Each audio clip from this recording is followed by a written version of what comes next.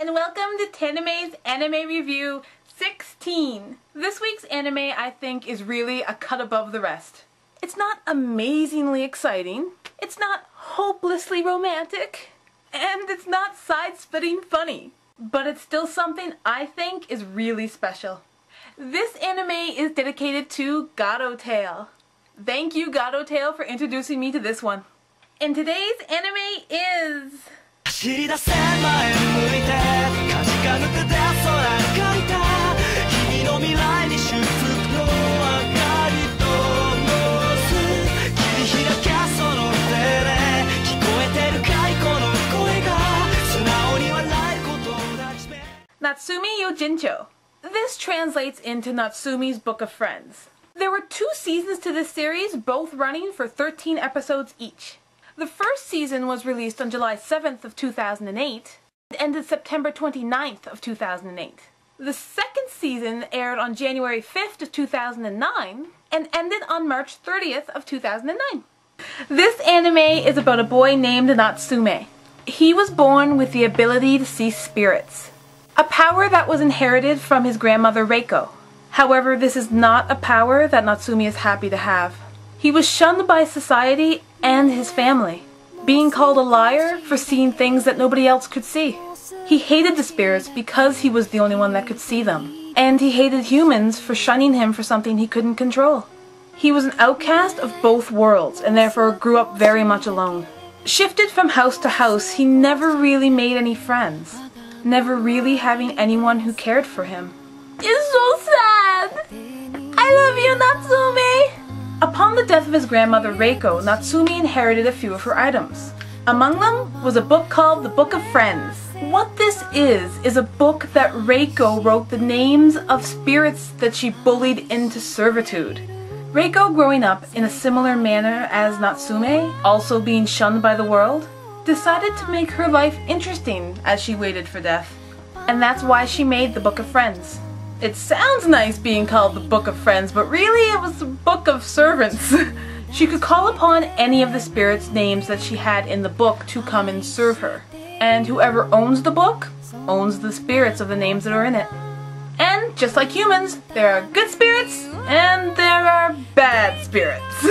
While Natsume is running away from a rather angry spirit, he stumbles over a spirit barrier, breaking the rope and freeing the spirit being held there. This is a grand spirit called Madara. Madara takes the shape of a Maneki Neko, also known as the Lucky Cat, leading Natsume to nickname him Nyanko Sensei. Here's a picture of what a Maneki Neko looks like if you're wondering.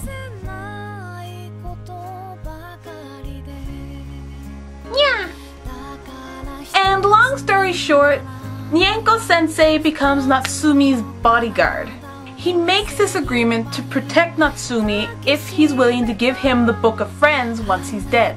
A human lifespan is like a blink of the eye for a spirit, though Nyanko Sensei is always commenting how he's going to eat Natsume. Now, Reiko was a mischievous girl and did most things for her own amusement. But there is a deeper part of her that we watch unfold as the series goes on. And sometimes when it seems like she was just bullying the spirit, it turns out she was actually being really nice to it.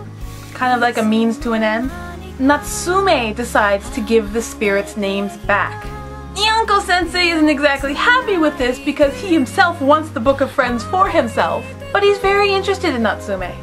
So he lets him do as he pleases and protects him along the way. But also, there are a lot of spirits out there who are out to kill Natsume wanting the Book of Friends for themselves. And that's the basic story! Now let me tell you why I like this anime so much. Like I said before, it's not overly funny, it's not extremely exciting. It's actually the type of anime you could probably jump into the middle of and still really enjoy it. Though I highly recommend starting from the first.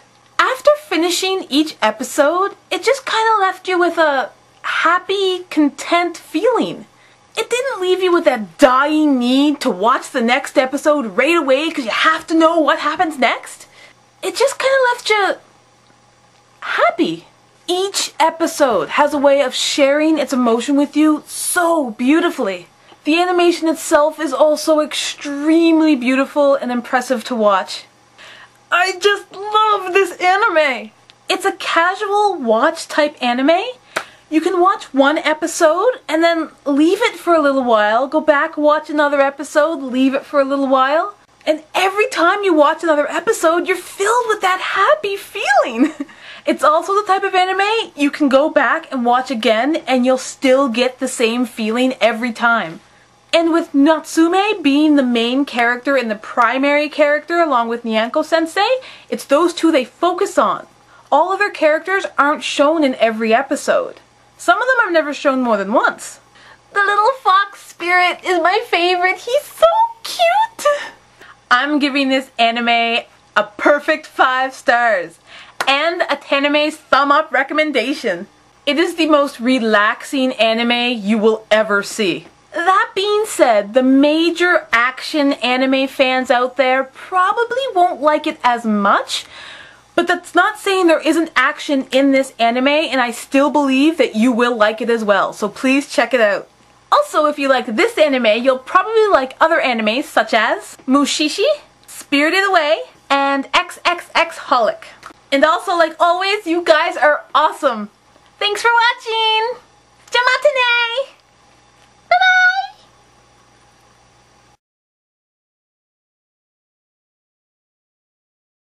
And now for your random stuff. AMVs are always a great way to start off random stuff.